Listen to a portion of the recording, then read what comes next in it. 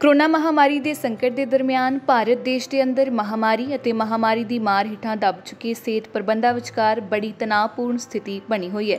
Corona ਮਰੀਜ਼ ਹਸਪਤਾਲਾਂ ਦੇ ਬਾਹਰ ਦਰ-ਦਰ ਭਟਕ ਰਹੇ ਨੇ ਅਤੇ ਸੌਖੇ ਸਮੇਂ ਦੇ ਵਿੱਚ ਦੁੱਖਾਂ ਦੇ ਵਿੱਚ ਘਿਰੇ ਇਨਸਾਨ ਨੂੰ ਦੂਸਰੇ ਇਨਸਾਨਾਂ ਦੀ ਮਦਦ ਦਾ ਸਹਾਰਾ ਬੜਾ ਕੀਮਤੀ ਹੈ।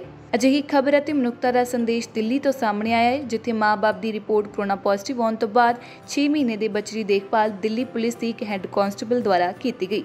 ਮਾਪਿਆਂ ਦੀ ਰਿਪੋਰਟ ਕਰੋਨਾ ਪੋਜ਼ਿਟਿਵ ਆਉਣ ਤੋਂ ਬਾਅਦ ਦਿੱਲੀ ਦੀ ਮਹਿਲਾ ਕਾਂਸਟੇਬਲ ਨੇ ਇਹ ਲਾਜ਼ਮੀ ਕੀਤਾ ਕਿ 6 ਸਾਲਾਂ ਦੇ ਬੱਚੇ ਦੀ ਸੁਰੱਖਿਆ ਦਾ ਧਿਆਨ ਰੱਖਿਆ ਜਾਵੇ। ਜ਼ਿਕਰ ਜੋ ਹੈ ਕਿ ਦਿੱਲੀ ਦੇ ਵਿੱਚ ਰੋਜ਼ਾਨਾ ਹਜ਼ਾਰਾਂ ਨਵੇਂ ਕਰੋਨਾ ਮਾਮਲੇ ਸਾਹਮਣੇ ਆ ਰਹੇ ਨੇ ਅਤੇ ਸਮੇਂ ਦੌਰਾਨ ਕਰੋਨਾ ਹੋਣ ਦੀ ਹਾਲਤ ਦੇ ਵਿੱਚ ਬਹੁਤ ਸਾਰੇ ਮਾਪਿਆਂ ਨੂੰ ਇਸ ਗੱਲ ਦੀ ਚਿੰਤਾ ਬਣ ਜਾਂਦੀ ਹੈ ਕਿ ਉਹਨਾਂ ਦੇ ਛੋਟੇ ਬੱਚਿਆਂ ਦਾ ਧਿਆਨ ਕੌਣ ਰੱਖੇਗਾ। ਦਿੱਲੀ ਦੇ ਜੀਟੀਵੀ ਨਗਰ ਦੀ ਰੇਡੀਓ ਕਲੋਨੀ ਵਿੱਚ ਰਹਿੰਦੇ ਇਸ ਜੋੜੇ ਨੂੰ ਵੀ ਇਸੇ ਚੁਣੌਤੀ ਦਾ ਸਾਹਮਣਾ ਕਰਨਾ ਪਿਆ।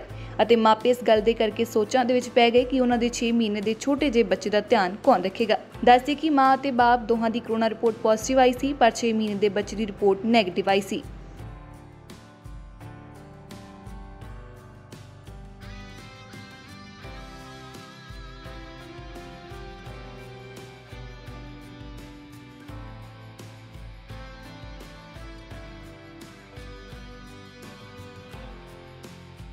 ਜਾਣਕਾਰੀ ਅਨੁਸਾਰ ਜੋੜੇ ਦੇ ਰਿਸ਼ਤੇਦਾਰ ਉੱਤਰ ਪ੍ਰਦੇਸ਼ ਅਤੇ ਦਿੱਲੀ ਦੇ ਵੱਖ-ਵੱਖ ਹਿੱਸਿਆਂ ਦੇ ਵਿੱਚ ਰਹਿੰਦੇ ਹੋਣ ਕਰਕੇ ਮਦਦ ਦੇ ਵਿੱਚ ਕਠਿਨਾਈ ਆ ਰਹੀ ਸੀ, ਕਿਉਂਕਿ ਦਿੱਲੀ ਅਤੇ ਉੱਤਰ ਪ੍ਰਦੇਸ਼ ਦੋਹਾਂ ਰਾਜਾਂ ਦੇ ਵਿੱਚ ਲੋਕਡਾਊਨ ਲੱਗਿਆ ਹੋਇਆ ਹੈ।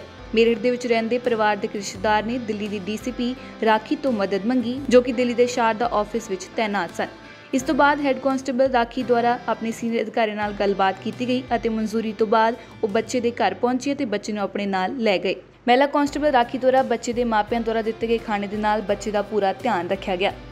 ਜਿਸ ਤੋਂ ਬਾਅਦ ਆਪਣੇ ਬੱਚੇ ਦੀ ਚਿੰਤਾ ਵਿੱਚ ਸੋਚੀ ਪਏ ਮਾਪਿਆਂ ਨੂੰ ਰਾਹਤ ਦਿੰਦੇ ਹੋਏ ਹੈੱਡ ਕਾਂਸਟੇਬਲ ਰਾਖੀ ਨੇ ਬੱਚੇ ਨੂੰ ਉਸਦੀ ਨਾਨੀ ਦੇ ਘਰ ਪਹੁੰਚਾਇਆ, ਜੋ ਕਿ ਉੱਤਰ ਪ੍ਰਦੇਸ਼ ਦੇ ਮੋਦੀ ਨਗਰ ਵਿੱਚ ਰਹਿੰਦੇ ਨੇ। ਜ਼ਿਕਰ ਜੋ ਹੈ ਕਿ ਮਾਂ ਬਾਂਗ ਬੱਚੇ ਦੀ ਦੇਖਭਾਲ ਕਰਕੇ ਕਰੋਨਾ ਦੇ ਭਿਆਨਕ ਦੌਰ ਵਿੱਚ ਪਿਆਰ ਅਤੇ ਸਾਥ ਦੀ ਭਾਵਨਾ ਦਾ ਪ੍ਰਗਟਾਵਾ ਕਰਨ ਵਾਲੀ ਇਹ ਖਬਰ 9 ਮਈ ਭਾਵ ਕਿ ਮਾਂ ਦਿਵਸ ਦੇ ਮੌਕੇ ਤੇ ਵਾਪਰੀ। ਬਿਊਰੋ ਰਿਪੋਰਟ ਦੇਸ਼ ਪ੍ਰਦੇਸ਼ ਟੀਵੀ, ਚੰਡੀਗੜ੍ਹ।